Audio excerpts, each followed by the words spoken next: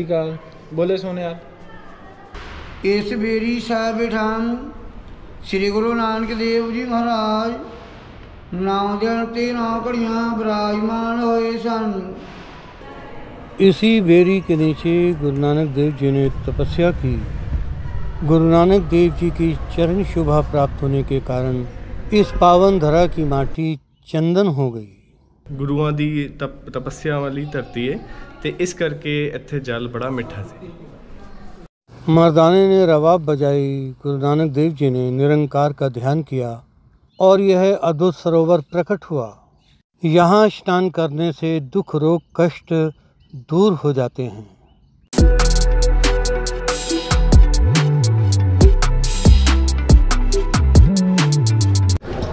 गुरुद्वारा नानकसर साहिब तख्त सचखंड श्री हजूर साहब से 10 किलोमीटर दक्षिण पश्चिम में स्थित यह गुरुद्वारा गुरु नानक देव जी की तपस्थली के रूप में जाना जाता है। गुरु जी बिदर जाते समय यहीं एक बेर के पेड़ के नीचे रुके थे। उनके साथी भाई मर्दाना जी को प्यास लगी तो गुरु जी ने कहा, रवाब बजाइए। मर्दाना जी ने रवाब बजाना शुरू किया। अचानक ठंडे और मीठे पानी का एक सरोवर प्रकट हुआ। आइए इस पवित्र और ऐतिहासिक गुरुद्वारे के दर्शन करने के लिए चलें। आप यह भी जान लीजिए यहाँ पहुँचे कैसे। सचखंड साहब से नांदेड़ के गुरुद्वारों के लिए बस चलती है।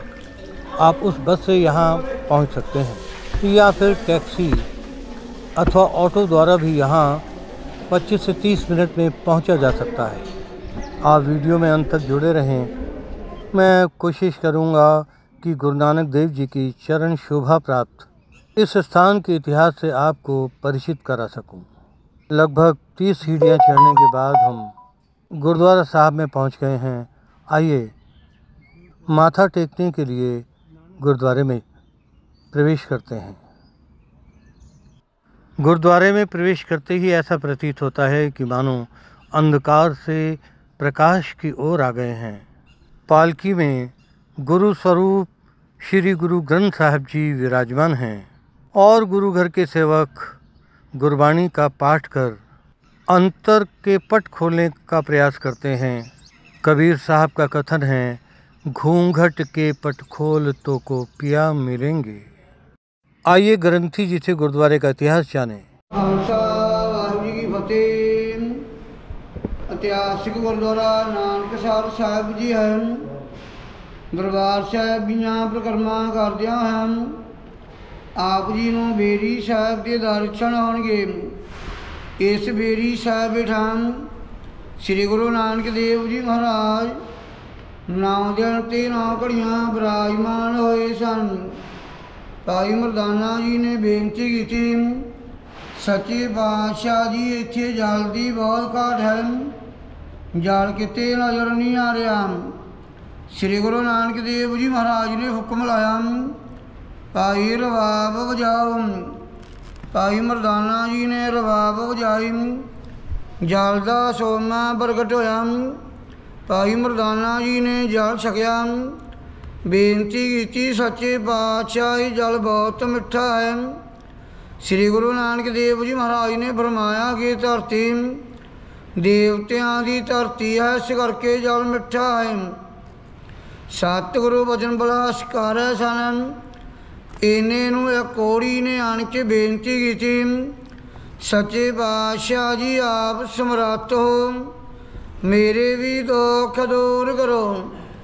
ਸ੍ਰੀ ਗੁਰੂ ਨਾਨਕ ਦੇਵ ਜੀ ਮਹਾਰਾਜ ਨੇ ਉਸ ਕੋੜੀ ਨੂੰ ਸੋਮੇ ਤੋਂ ਇਸ਼ਨਾਨ ਕਰਵਾਇਆ। ਜਲ ਛਕਾਇਆ ਤੇ ਕੋੜੀ ਦਾ ਕੋੜ ਦੂਰ ਕੀਤਾ।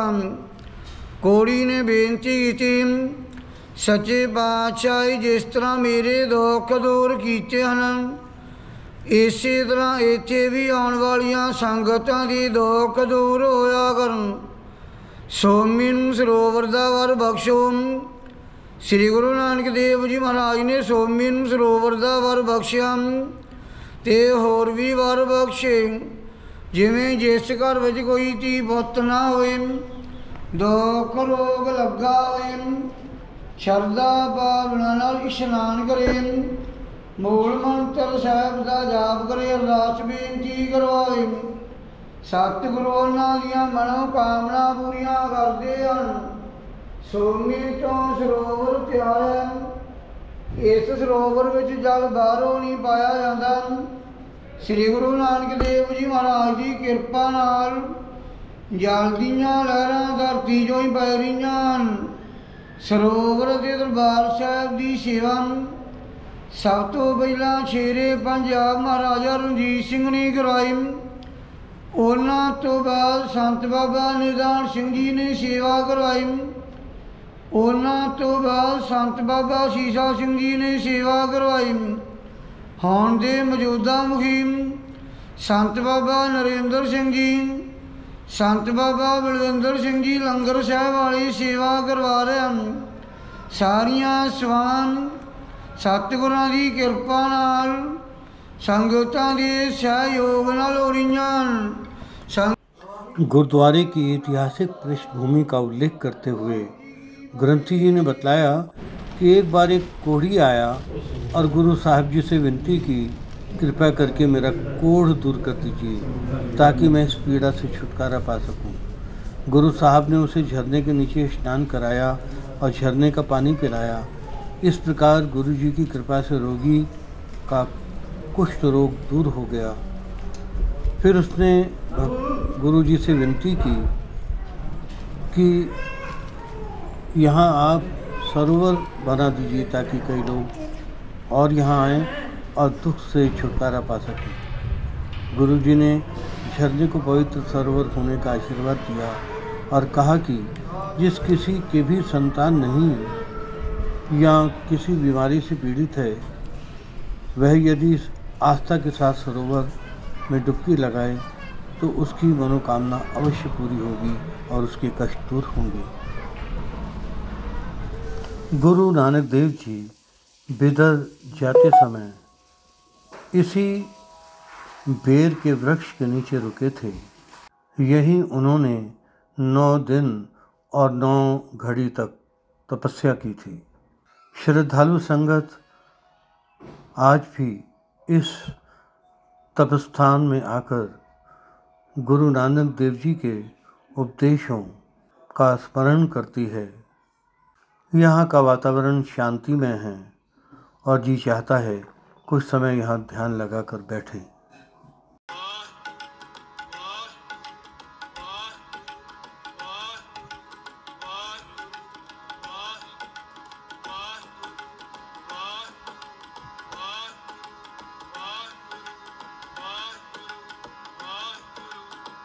यह स्थान धातु से बनी गुरु नानक देव जी के जीवन को दर्शाने वाली विविध कलात्मक कृतियों से सुसज्जित है।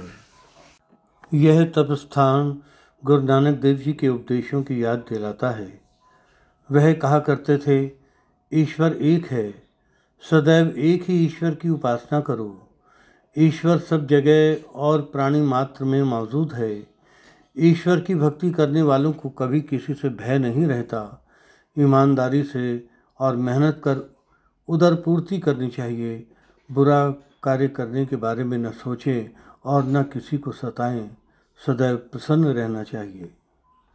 गुरु नानक जी के उपदेश खुशहाली से जीने का मंत्र देते हैं। नाम जपो, किरत करो और वंड के छको।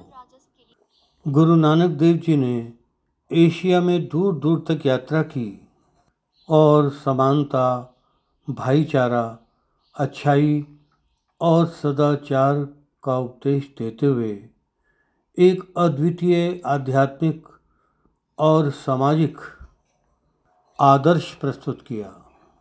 गुरु नानक देव जी ने कहा हरिबिन तेरो को न सहाई, काकी मात पिता सुत बनिता, को काहू को भाई। अर्थात, उस प्रभु के बिना कोई सहारा नहीं होता है, काकी, माँ, बाप और पुत्र। सब तू ही तो है दूसरा कोई और नहीं। लोग बच्चों को यहाँ माथा टिकाकर गुरुजी का आशीर्वाद प्रदान करना चाहते हैं। बोले सोनियाल। चलो बोल दो। बोले सोनियाल। जसप्रीत सिंह जी तपस्थान नानकसर हाँ इस ऐतिहासिक गुरुद्वारे के बारे में हमारे दर्शकों को बतलाया हम्म। इतने गुरु नानक देव जी और मरदाना जी आए सी। ਤੇ ਇੱਥੇ ਦੀ ਹਾਲਤ ਦੇਖਦੇ ਹੋਏ ਮਰਦਾਨਾ ਜੀ ਨੇ ਕਿਹਾ ਸੀ ਵੀ ਇੱਥੇ ਜਲ ਨਹੀਂ ਹੈਗਾ ਤੇ ਫਿਰ ਗੁਰੂ ਨਾਨਕ ਦੇਵ ਜੀ ਨੇ ਇੱਥੇ ਜਲ ਪ੍ਰਗਟ ਕੀਤਾ ਸੀ। ਰਬ- ਰਬਾਬ ਬਜਾਓ। ਤੇ ਜਦੋਂ ਉਹਨਾਂ ਨੇ ਰਬਾਬ ਬਜਾਈ ਤੇ ਫਿਰ ਇੱਥੇ ਜਲ ਗੁਰੂ ਨਾਨਕ ਦੇਵ ਜੀ ਨੇ ਜਲ ਪ੍ਰਗਟ ਕੀਤਾ ਸੀ।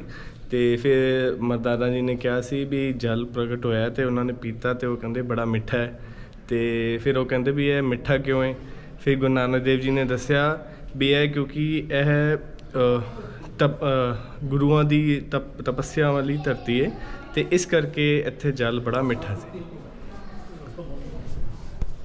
यह वह पवित्र स्थान है जिसे गुरु नानक देव जी के चरणों की शोभा का सौभाग्य प्राप्त हुआ है जो भी सिख संगत अविचल नगर में सचखंड साहब के दर्शन करने आती है नानक सर गुरुद्वारे में भी दर्शन करने के लिए उत्सुक दिखाई देती है और इस पवित्र सरोवर में स्नान कर दुखों से छुटकारा पाती है। इस सरोवर का जल ठंडा और मीठा है और फिर हो भी क्यों ना?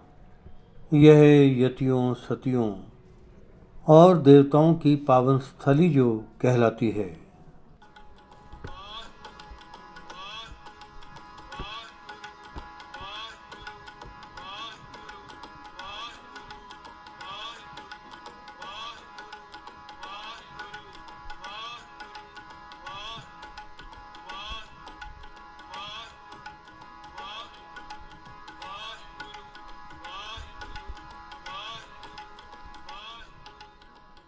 सामने लिखा है कर स्नान सिमर प्रभ अपना मन तन भय अरोगा।